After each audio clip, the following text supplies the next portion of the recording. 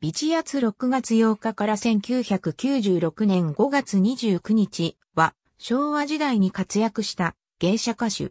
実定はビートたけしの師匠で知られるコメディアンの深見千三郎。ビチアツこと久保染子は北海道浜頓別に生まれた。旅回りの役者の父親の影響を受け、幼い頃から芸事に興味を持ち、三味線で身を立てたいと思うようになる。1931年、浅草で芸者置や道の家を営んでいた親戚を頼って、当初は三味線の修行のために上京した。翌年、親戚が置屋の経営に行き詰まり15歳の染子は、美知圧として芸者になる。いつしか戦争の人気芸者となっていた美知圧は、1933年、松竹映画、東京温度の陶器部分の撮影に浅草の芸妓衆の一人として参加。その甲高い歌声が評判を呼び、当時流行のウグイス歌手を探していた日東レコードからスカウトされ、1934年、桜桶さでレコード歌手としてのデビューを飾る。日東専属時代は、まだ無名であった作曲家、服部良一の作品を数多く歌った。これが縁となり、服部は道奴の紹介によって1935年、マリコ夫人と結婚することとなった。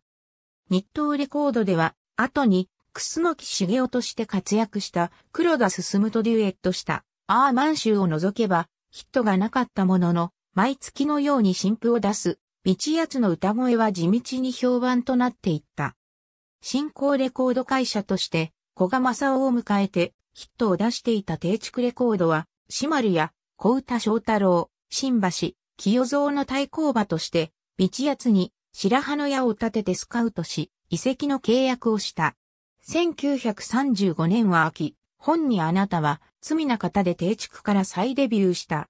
翌年には映画俳優、杉京治と歌った細君三日天下がヒット。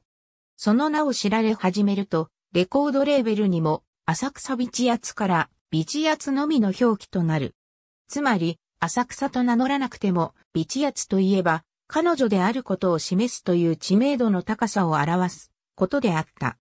1937年、佐藤八郎作詞、小賀正夫の作曲による、うちの女房にゃ、髭があると、同名の日活映画がヒットする。この主題歌、ああそれなのに、は、発売されるや40万枚を売り上げる大ヒットとなり、映画と同名の主題歌とともに、歌手、ビチアツの人気を不動のものとした。その後も、そんなの嫌い、道行きシャンソン等のヒットを出すが、同年の神橋事件の勃発により日中戦争が始まり、コミカルな、ああそれなのに、は、不謹慎とされ発売禁止となった。しかし、ほどなく、ビチヤツが歌った軍国の母は、戦時歌謡におけるヒット曲第1号となった。1938年にも大陸ブームに乗った霧の四馬人をヒットさせ、ブロマイドの売り上げも上位を誇る人気歌手となっていった。デビュー当初から定畜が積極的に提携していた日活映画に出演しており、花見温度、ジャズ、中心蔵などに特別出演するうちに映画監督の牧野正宏と恋になり、牧野が監督した矢地多道中期、清水港、俗、清水港などに旅芸人の座長や鳥追いの役などで出演。以降も1942年歌うたぬき御殿、1950年蛇姫道中など戦前から戦後にかけて多数の日活、大英作品に登場している。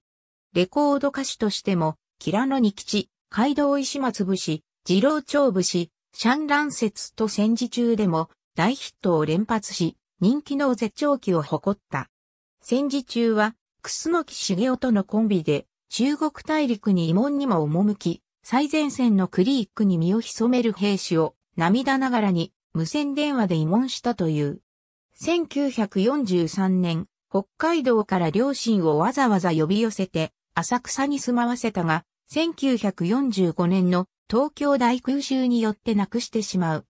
当時、ビチアツは浅草で人気を博していた女剣劇役者、中野博子の芸に惚れ込み、中野とのコンビで数々の舞台を務め、その活動の拠点を京都に移していた。恋仲であった楠木茂雄が歌手三原淳子と結婚したり、両親を一堂に失ったという悲しみを振り払うように、ビチヤツは中野博子と共に、慰問や全国工業に専念した。戦後の一時期はヒットが少なく引退したかとも思われていたが、1950年の朝鮮動乱による特殊景気によってお座敷、ソングブームが起こると、九州の民謡としてヒットしていた炭鉱説が各社の共作で発売され、ビチヤツが歌った定畜版のみが三池炭鉱の上に出たと歌うことが許され、戦後初の大ヒットとなった。同じく定畜の新人歌手、牧藤夫との恋仲が報道され、ビチヤツは、妻子ある牧と同棲を始めるようになったものの、牧の度重なる浮気によって、ストレスを感じたためか、自律神経失調症を患い、1957年には6年間の同棲生活に終止符を打った。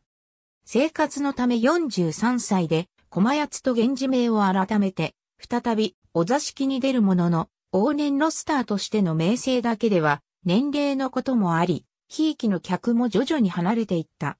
浅草のアパートで、一人自律神経失調症の再発と闘病する、道奴の不遇を知った中野博子は、恩義ある彼女を全面的にサポートした。早速隣室に引っ越して、ビチヤツの再起を支えた。昭和40年代の夏メロブームに乗って、東京12チャンネルの夏歌手の歌声でその衰えぬ美声を披露。定畜でも往年のヒット曲をステレオで再録音している。病気の再発は繰り返していたため、徐々にテレビ出演もできなくなり、都内の病院を転々としては療養の日々を続けた。1978年7月に放送された東京12チャンネル夏歌手の歌声第9回教習の歌祭りが最後のテレビ出演と思われる。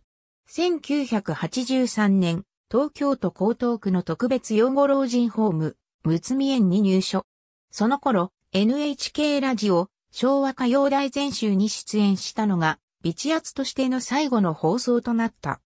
後に、同じ老人ホームに中野博子も入所し、初内の演芸会では変わらぬ美声を披露したり、中野と寸劇を演じたりと、身寄りがないながらも穏やかな晩年を過ごした。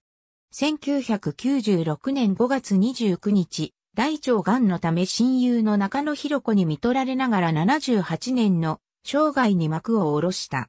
中野博子は、ビチヤツの49日を取り行った後、後を追うかのように亡くなっている。